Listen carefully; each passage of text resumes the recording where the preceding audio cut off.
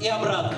Под аплодисменты наших зрителей, жюри, гостей. Ой! До конца, до конца. До сюда. Здесь еще раз аплодисменты и поклон у нас. Поклон небольшой. Можешь сделать? Ну так.